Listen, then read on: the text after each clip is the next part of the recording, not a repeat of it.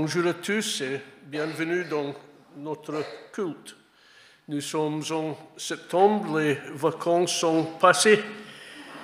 Et c'est le premier jour de automne aujourd'hui, et ça c'est évident, je pense.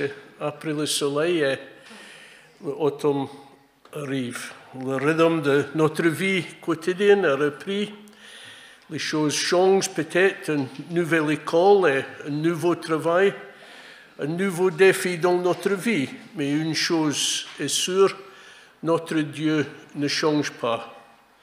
La Bible nous dit qu'il est le même hier, aujourd'hui et éternellement. Lèvons-nous pour chanter ensemble et rendons gloire et tu es le Créateur.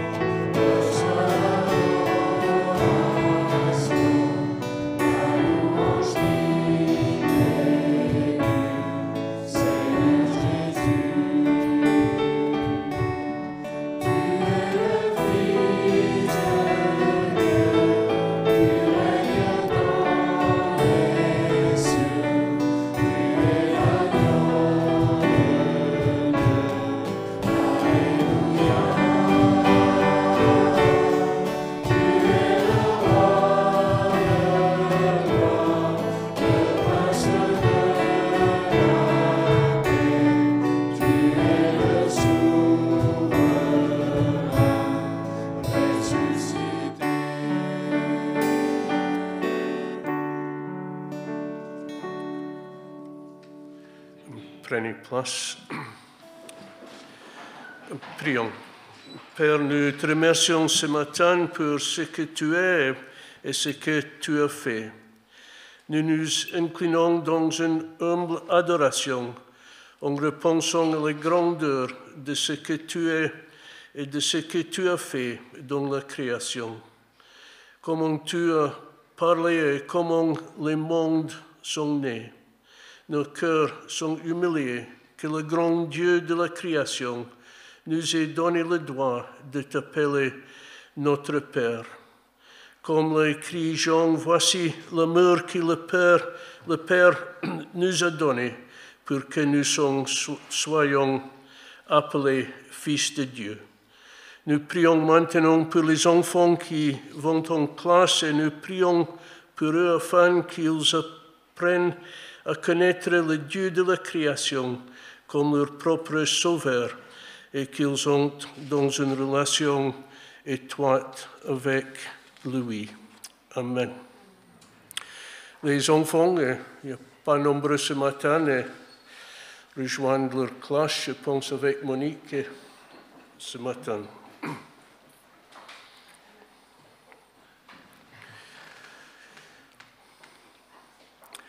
Cet été, nous avons eu le privilège de, voir des paysages magnifiques sur la côte adriatique. Marie-Claude et moi, nous faisons souvent des remarques sur la grandeur de Dieu dans la création. Des montagnes magnifiques, des, des mers avec une abondance d'espèces de vie vraiment magnifiques lorsque nous regardons d'autres régions ravagées par la guerre et la cupidité des hommes. Nous pouvons avoir peur, mais nous devons nous rappeler que Dieu contrôle non seulement la création, mais aussi l'humanité. Nous venons de rendre gloire à un Dieu créateur. Nous sommes sa création. Nous lisons donc Colossiens 1, verset 16.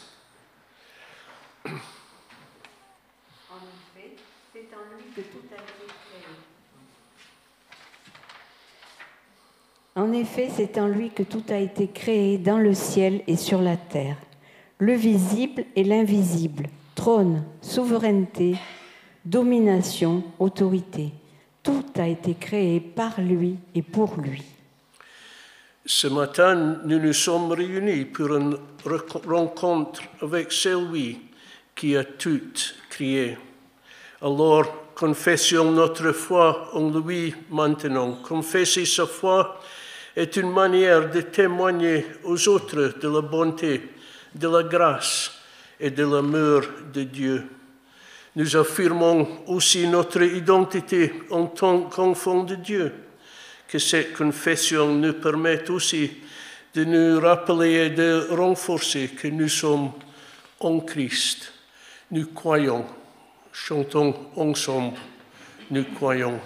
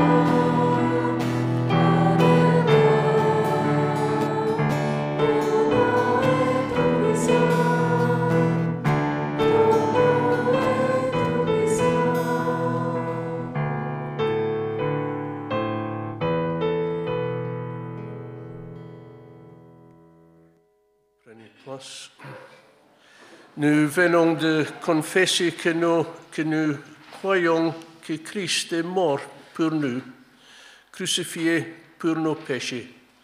C'est vrai, nous ne pouvons pas fuir du péché. Comme dit le prochain chant, cela nous est clairement indiqué aussi dans la parole de Dieu. Nous lisons dans 1 Jean 1, versets 8 et 9. Si nous disons que nous n'avons pas péché, que nous n'avons pas de péché, nous nous trompons nous-mêmes et la vérité n'est pas en nous. Si nous reconnaissons nos péchés, il est fidèle et juste pour nous les pardonner et pour nous purifier de tout mal. Nous continuons donc à confesser non seulement notre foi en Dieu, mais cette fois-ci, nous confessons nos péchés. Nous venons de l'entendre. Dieu est fidèle de nous pardonner. Et il a tout donné pour nous rendre purs. Chantons ensemble Rock des âges. C'est un chant magnifique et c'est ancien, mais les paroles, c'est très fort.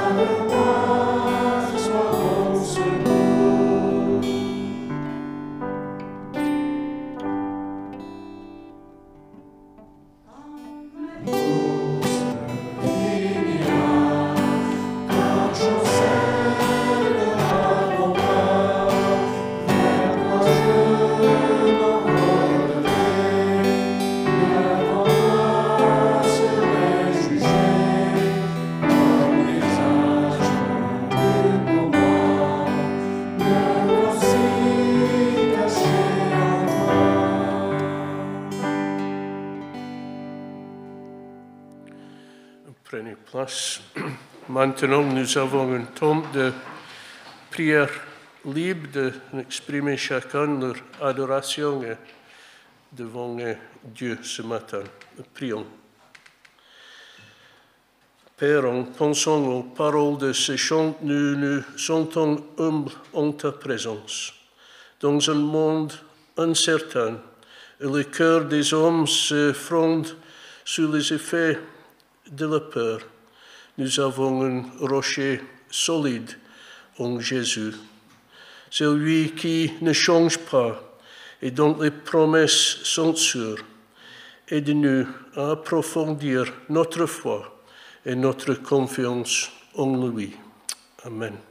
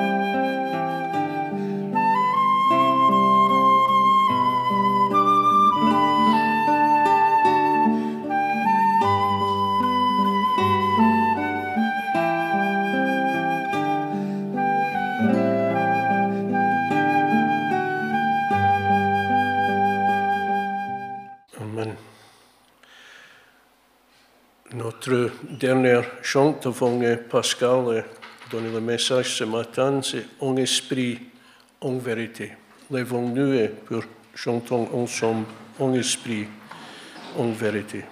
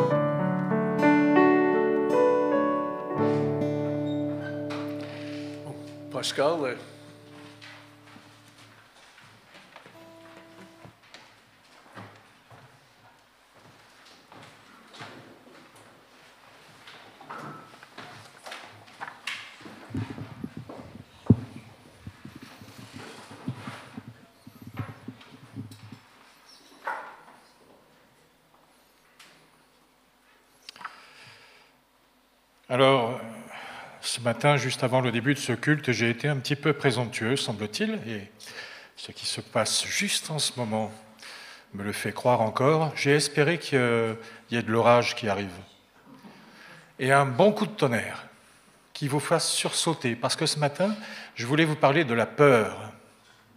Alors, vous en avez entendu parler un tout petit peu, là, déjà mais je voulais vous parler de cette peur qui fait partie de notre quotidien. Quand j'étais beaucoup plus jeune, je ne voulais jamais dormir avec euh, la porte de la chambre fermée. J'avais peur que quelqu'un soit là, dans le noir, à me regarder. Et puis je me suis habitué à rester euh, dans le noir, heureusement, hein, à mon âge. Mais il y a d'autres raisons d'avoir peur, bien sûr, dans la vie. Quand nous regardons le monde dans lequel nous vivons, nous sommes en droit de penser qu'il ne tourne pas toujours rond. J'ai relevé quelques repères de mon histoire familiale que je vais vous rapporter très succinctement, sans remonter plus loin que mes arrière-grands-parents, quand même. Eux, pour commencer, mes arrière-grands-parents ont connu la troisième révolution française, en 1848 et la guerre de 1870 contre les Prussiens. Mes grands-parents ont connu la Grande Guerre, c'est-à-dire la guerre de 14 et la guerre de 40. Mes parents ont connu la guerre de 40 et euh, mon père a connu la guerre d'Indochine. Finalement, moi, eh bien, je n'ai rien connu de ce genre. Absolument rien. Pas encore en tout cas. Il y a eu un peu plus de 40 ans entre la guerre de 70 et la Première Guerre mondiale. Environ 20 ans entre la fin de la Première Guerre mondiale et le début de la Deuxième. 20 ans seulement, c'est court, hein 20 ans. Et moi, depuis plus de 60 ans, aucun conflit ne m'a directement atteint on pourrait se dire que c'est très bien ainsi. Et je sais d'ailleurs que certains chrétiens ont une vision optimiste de l'histoire et voient l'humanité progresser vers un état de paix et de justice jusqu'au moment du retour de Christ. C'est une théologie, ça. Alors je ne suis pas sûr qu'ils soient de plus en plus nombreux à penser ainsi. Mais je suis certain que le monde ne tourne pas plus rond maintenant qu'auparavant. Je n'ai pas de raison de penser le contraire. C'est vrai, on ne reconnaît plus le monde dans lequel on vivait il y a quelques décennies parce que tout va très vite aujourd'hui. La chute du mur de Berlin semblait annoncer une ère nouvelle, plus pacifique, plus unie. Mais la réalité s'est avérée bien plus complexe que cela. Nous nous sommes laissés berner par les apparences et nos illusions se sont évaporées. Ou plus correctement dit, elles ont volé en éclats. Aujourd'hui, on a l'impression de vivre dans un tourbillon où les événements se succèdent à un rythme effréné. Les conflits se multiplient et forcément finissent par se rapprocher de nous géographiquement. Et puis il y a le réchauffement climatique qui menace notre planète les inégalités qui se creusent, les fake news qui envahissent l'espace public, nous sommes ballottés de tous les côtés sans vraiment savoir où tout cela va nous mener. C'est comme si le sol se dérobait sous nos pieds. Nous ne sommes plus maîtres de rien. À quoi doit-on s'attendre? Est-ce que l'on doit avoir peur de quelque chose ou craindre quelque chose? Et qu'en est-il pour vous? Quelles sont les peurs que vous avez eues au cours des différentes phases de votre vie? Quelles sont vos peurs quotidiennes peut-être, aujourd'hui encore? Et pourquoi est-ce que je vous parle de la peur finalement? Pourquoi est-ce que je vous fais vous questionner à ce sujet? Et est-ce que vous parlez de tout cela de temps en temps? Parlez-vous de vos peurs avec euh, vos amis, avec des personnes de confiance? Ou préférez-vous faire ce que la plupart des autres font, en essayant de garder les peurs pour vous, parce qu'elles seraient des pensées ou des sentiments privés, intimes. Est-ce que, comme beaucoup d'autres, vous préférez ne rien laisser paraître à l'extérieur? Ou bien, lorsque de tels sentiments et pensées désagréables surgissent, préférez-vous vous en détourner, vous distraire rapidement avec euh, quelque chose d'agréable, musique, télévision peut-être, encore que, lecture, quelque chose de bon à manger ou à boire. C'est un peu ce que vous pourriez faire si vous aviez le sentiment que vous êtes dans le rouge à la banque et qu'un jour, à la fin du mois, vous receviez une enveloppe de votre banque, justement, donc probablement avec un relevé de compte bancaire à l'intérieur eh bien, tant que vous n'avez pas ouvert l'enveloppe, vous n'êtes pas véritablement dans le rouge. Et donc votre compte est encore à l'équilibre. Illusion. Vanité des vanités, dirait quelqu'un. Dans votre fort intérieur, vous savez que tout ça n'est pas vrai, mais vous verrez plus tard ce qu'il arrive. Faut-il mieux parler d'autre chose que de nos peurs? Et si l'on n'en parle pas, vont-elles disparaître d'elles-mêmes? Alors je voudrais maintenant vous lire un passage de la Bible où David côtoie la peur. Psaume 27. L'Éternel est ma lumière et mon sauveur, de qui aurais-je crainte? L'Éternel est ma forteresse, il protège ma vie, de qui aurais-je peur? Que des méchants s'avancent contre moi, voulant me nuire, ce sont mes ennemis, mes oppresseurs, qui perdent pied et tombent. Qu'une armée vienne m'assiéger, mon cœur reste sans crainte. Que l'on me déclare la guerre, je suis plein d'assurance. Je ne vais pas vous laisser avec ces paroles-là, mais ce sont des paroles de David quand même, dont le cœur reste sans crainte, en toutes circonstances. Est-ce notre cas aujourd'hui?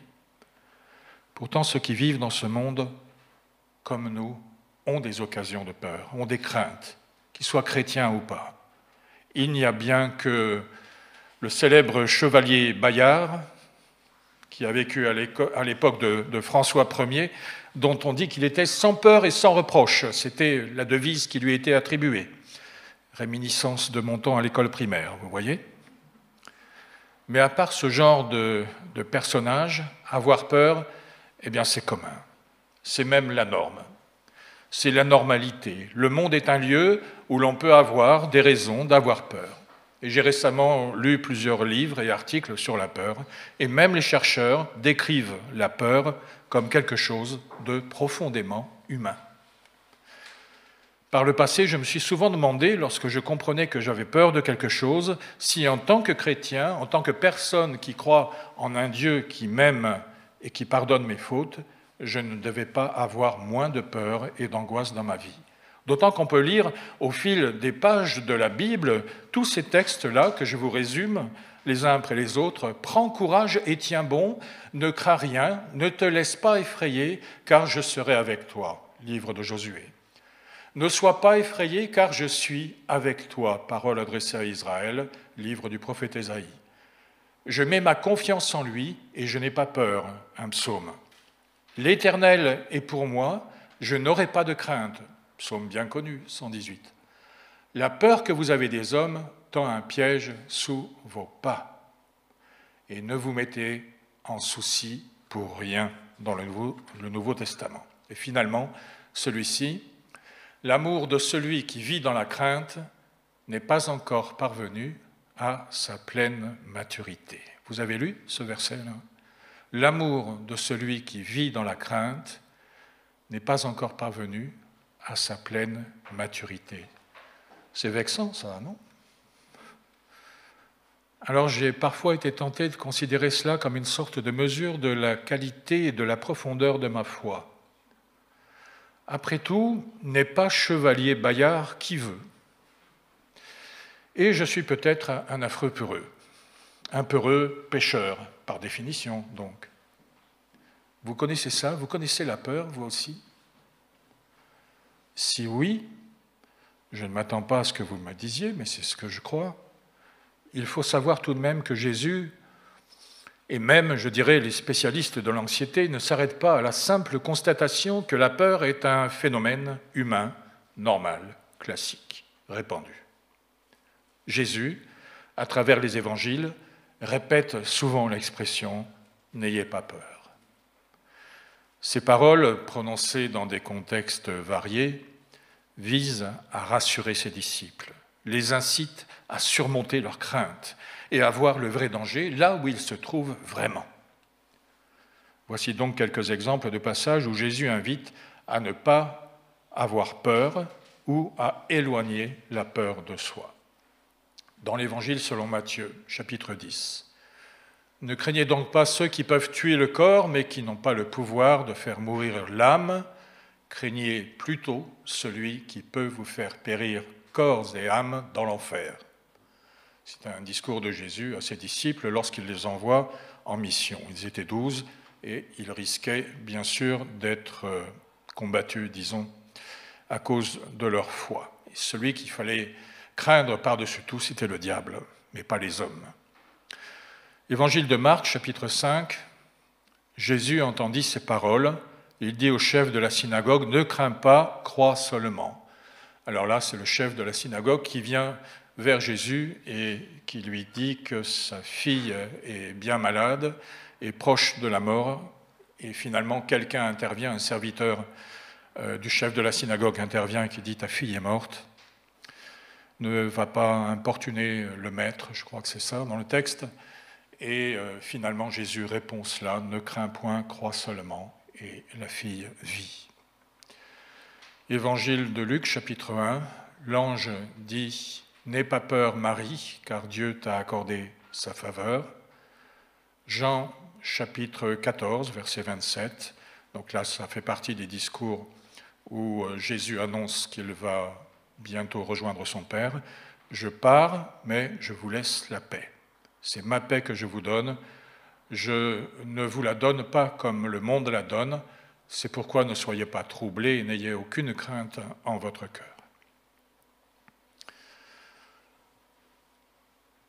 En incitant euh, les uns et les autres à ne pas avoir peur, Jésus confirme de facto l'existence de la peur dans notre vie. De fait, il reconnaît que nous pouvons connaître la peur, donc. Mais il, il ne s'arrête pas là. La peur n'est pas là pour être simplement acceptée et pour s'y soumettre comme s'il était notre destin. Jésus nous invite à gérer cette donnée qu'est la peur. Vous savez vous-même comment et combien la peur et l'angoisse peuvent limiter notre vie. La peur nous prive de l'énergie nécessaire pour faire quelque chose. Elle peut nous paralyser. La peur nous empêche d'aborder les choses pour les changer, nous bloque sur un statu quo parfois mortel. La peur nous met sous pression et transforme toute joie en corvée, en obligation. Et c'est précisément pour cela que Jésus nous invite à ne pas nous arrêter à nos peurs, à ne pas nous arrêter à nos angoisses et qui nous invite à les gérer donc activement. Et l'intention de Jésus n'est pas nouvelle. Déjà l'Éternel avait dit à Josué, N'aie pas peur, car je suis avec toi, fortifie-toi et prends courage. C'était juste avant la conquête du pays de Canaan. Les peurs, donc, ne disparaissent pas passivement, mais elles peuvent nous faire grandir, nous faire évoluer, nous faire devenir plus forts en tant qu'êtres humains, en tant que personnes, nous faire nous dépasser lorsque nous les affrontons. Alors justement, comment est-ce que nous pouvons affronter activement nos peurs? Il s'agit donc bien sûr de les reconnaître en premier lieu. Et Jésus nous montre comment faire. Il s'agit d'abord de constater sobrement que les peurs sont normales et pas un signe de faiblesse. Et si l'on en parlait, je crois, on serait peut-être surpris d'entendre d'autres personnes en parler aussi. Par exemple, de nombreuses personnes souffrent de la peur de l'échec ou de la peur de ne plus être considérées dans leur milieu, dans leur famille. Et que penser déjà des, des déclarations de foi péremptoires, je dirais, des disciples à Jésus? Tu es le Saint, tu es le roi des Juifs, tu es le roi d'Israël, tu es le Messie, fils de Dieu. Bien, que penser de ça quand on connaît la suite des événements et la peur farouche de certains disciples d'être persécutés à cause de leur foi, de risquer leur vie? Eh bien, juste avant un appel au courage, Jésus les ramène à la réalité, ses disciples, et il leur dit ceci. Jean 16. Ainsi, vous croyez à présent? Cela suit une confession de foi brève, juste avant. Mais l'heure vient, et elle est déjà là, où vous serez dispersés chacun de son côté, et où vous me laisserez seul. Mais je ne suis pas seul, puisque le Père est avec moi. Il fallait que je vous dise aussi cela pour que vous trouviez la paix en moi. Dans le monde, vous aurez à souffrir bien des afflictions, mais courage, moi j'ai vaincu le monde. Vous croyez donc vraiment en moi? Rétorque Jésus, le fait est que vous m'abandonnerez tous pour sauver votre peau. Mais ne vous inquiétez pas pour cela, je ne suis pas seul, car le Père est avec moi. Et donc les disciples aussi devaient faire face à leur peur avec courage et ne pas les dissimuler. D'ailleurs, Jésus était là, l'avait compris, et on ne pouvait rien lui dissimuler. Alors il faut reconnaître ces peurs, il faut aussi les décatastrophiser. Un mot qui est peu courant, mais qui existe, j'ai contrôlé. La recherche sur la peur montre clairement comment nous contribuons nous-mêmes à leur intensité. En quelques pensées, nous transformons un malaise, une petite appréhension, en une catastrophe presque inévitable. Une partie de nos peurs résulte de comportements inconscients, parfois acquis dans notre enfance. Et l'histoire familiale, bien sûr, y tient un grand rôle. Une grande partie, en revanche, est également nourrie et amplifiée par notre propre pensée à nous, consciente des catastrophes. Et c'est particulièrement vrai pour les peurs qui sont orientées vers l'avenir, dans lesquelles nous imaginons que finalement tout va aller mal. Nous nous faisons du souci et trouvons de nombreuses raisons pour lesquelles ces soucis sont apparemment justifiés. Les soucis sont souvent la forme la plus claire de peur faite maison. Il serait préférable de décatastrophiser nos soucis. Prenez le temps de lire l'ensemble des discours d'adieu de Jésus dans l'évangile de Jean. L'ensemble est une décatastrophisation de l'avenir pour les disciples que Jésus résume ici par ces mots je vous ai dit tout cela pour que les choses à venir ne vous ébranlent pas et pour que vous ayez une paix profonde. Je vous le dis pour que vous ayez une paix profonde et que vous ne soyez pas ébranlés dans votre être. Après avoir reconnu ces peurs, avoir tenté de les décatastrophiser, il faut aussi les affronter. C'est ce que vous lisez dans certains textes bibliques. Ne t'ai-je pas ordonné, fortifie-toi? Ou encore, prenez courage, tenez bon, ne craignez rien, ne vous laissez pas effrayer.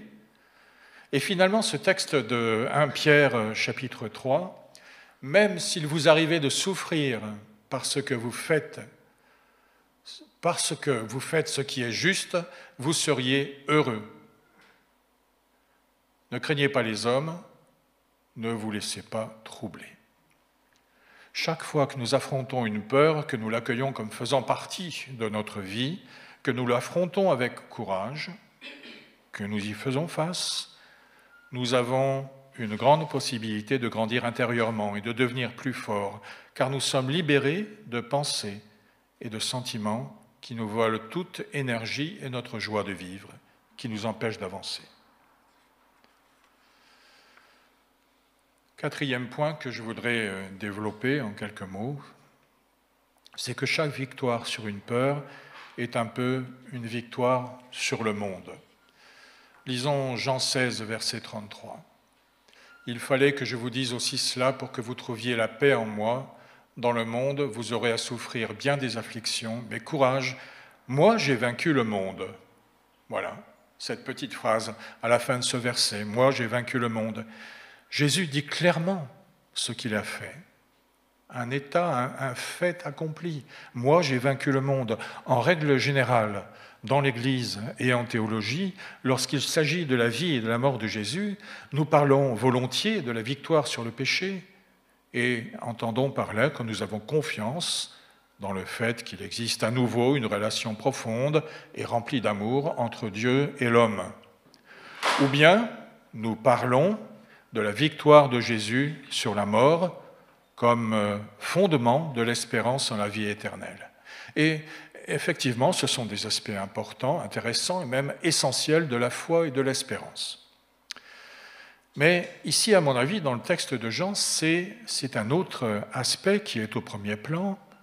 Jésus a réussi à vaincre la peur. La victoire sur le monde, c'est aussi une victoire sur la peur. Souvenez-vous de l'épisode de Gethsemane. Jésus n'était pas dans la joie, alors qu'il était là face à un avenir restreint, j'allais dire, en tout cas sur la terre.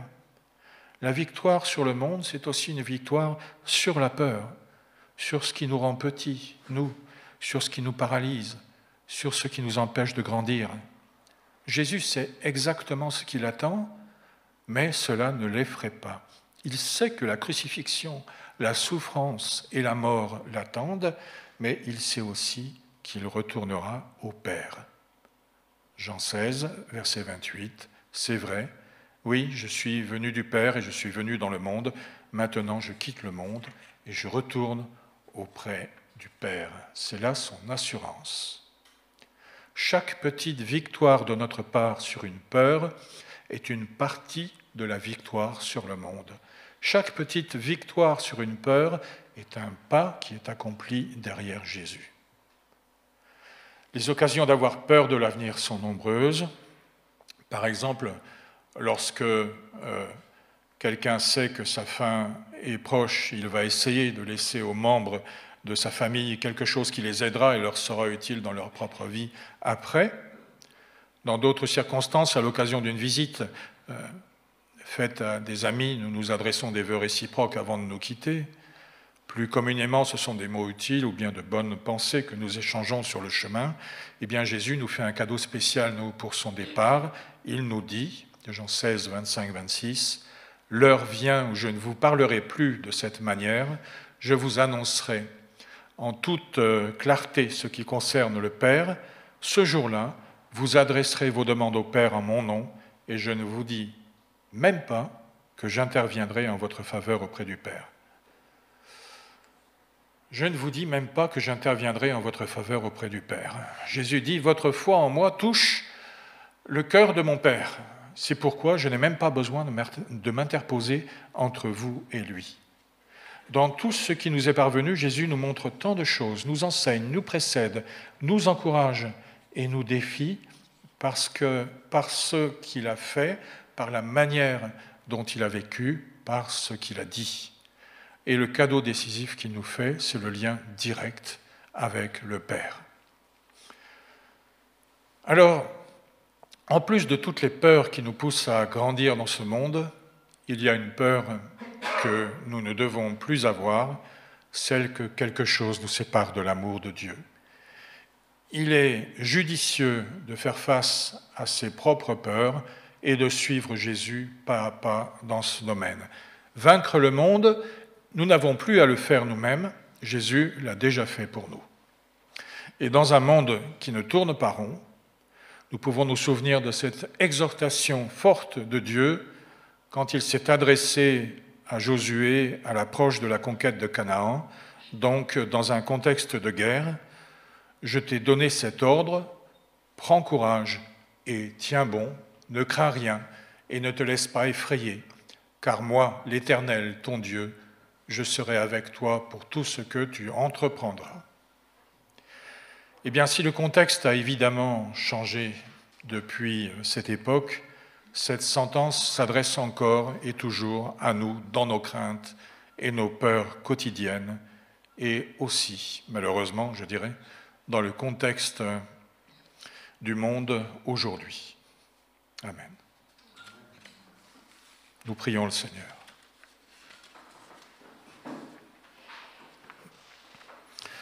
Seigneur notre Dieu, nous voulons te, remercier pour tout ce que tu as fait, pour tout, tout l'amour que tu as apporté à, à tes serviteurs, à ceux qui t'appartenaient dans le passé, dont nous lisons les histoires au fur et à mesure des pages dans la Bible. Nous te remercions, Seigneur, parce que ton amour dans le passé est aussi l'amour que tu nous donnes aujourd'hui. Nous voulons nous en remettre à toi, Seigneur, pour tout ce qui concerne notre vie et pour l'avenir du monde aussi.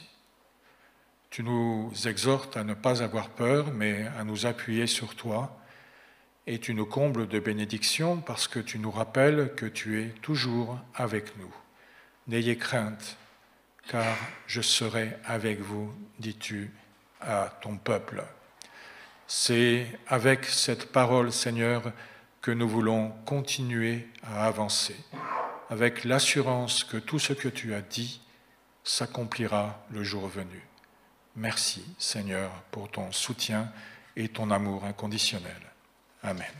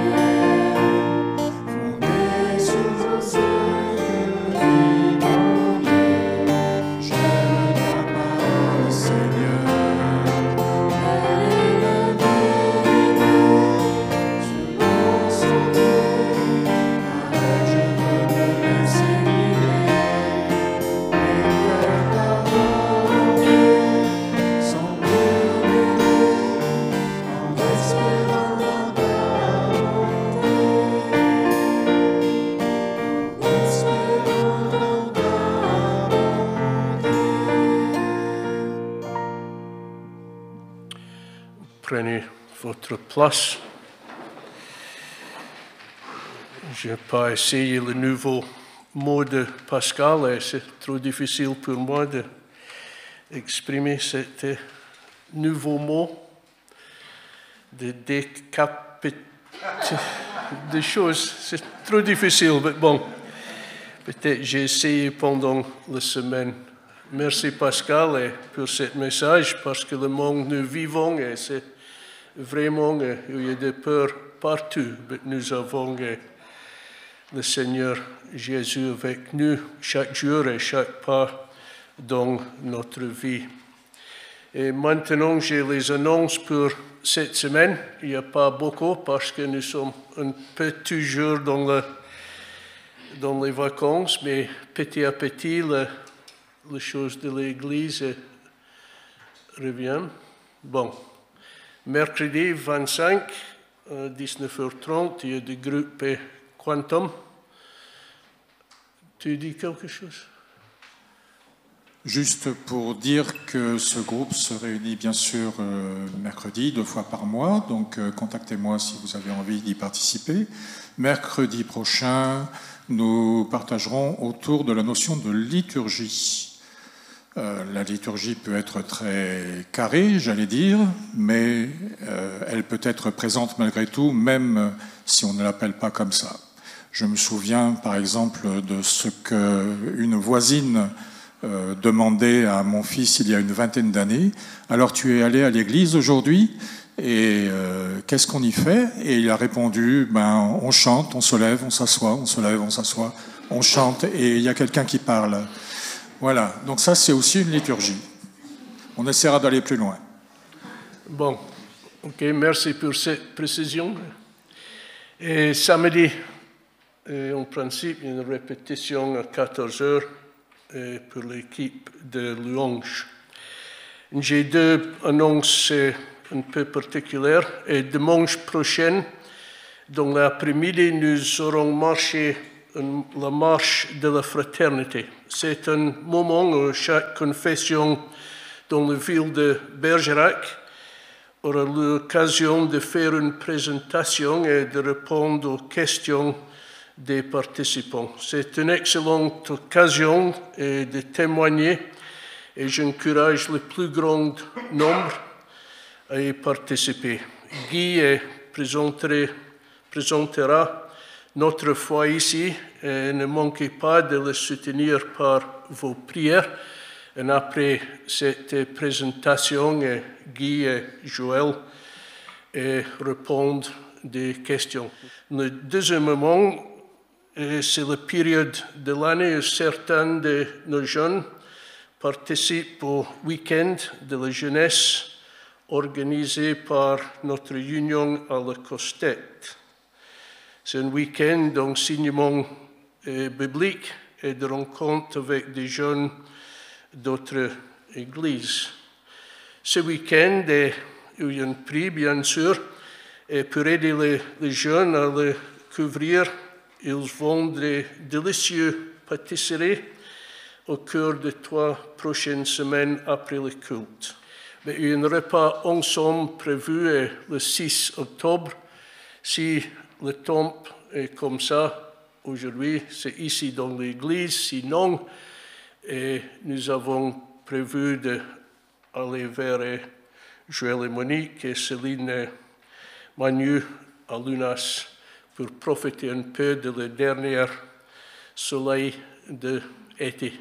Mais Dieu fait briller son, sa lumière en nous, illuminant nos cœurs pour que nous puissions connaître et refléter sa gloire, qui est pleinement révélée en Jésus-Christ. C'est notre mission. Maintenant, et avant partir, nous lisons deux textes qui nous rappellent de cette mission toujours d'actualité pour nous aujourd'hui. C'est dans Philippiens 2, versets 14 et 15 et 2 Corinthiens 4, verset 6.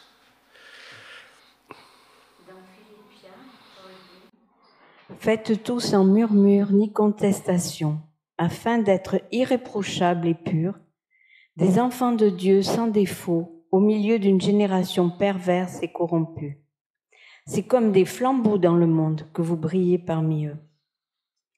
Puis dans Corinthiens 4, verset 6, En effet, le Dieu qui a ordonné que la lumière brille du sein des ténèbres a aussi fait briller sa lumière dans notre cœur pour faire resplendir la connaissance de la gloire de Dieu dans la personne de Jésus-Christ. Chantons donc ce dernier chant de tout cœur car le Seigneur nous donne la grâce de vivre sa lumière. Lèvons-nous dans mon âme, un beau soleil brille.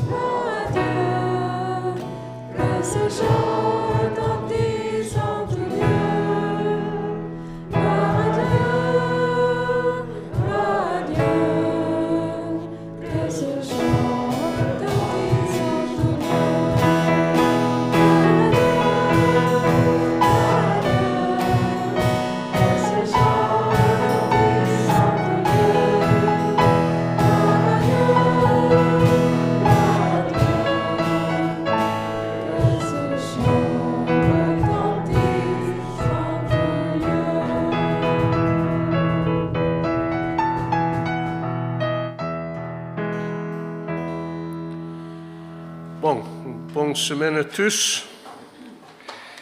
Et semaine prochaine, à 10 heures, dans la volonté de Dieu pour notre culte.